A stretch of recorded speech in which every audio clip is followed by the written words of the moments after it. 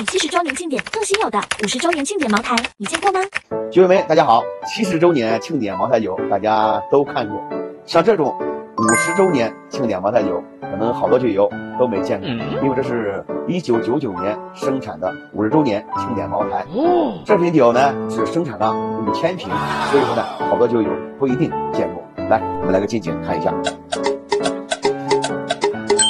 这款酒呢是茅台酒厂特别选用陈年茅台酒啊，精心勾兑了一批，用于纪念这一历史时刻。此酒瓶身古朴，使用宜兴彩陶紫砂烧制而成，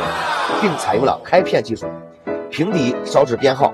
以浙江三雕中的东阳木雕为基座，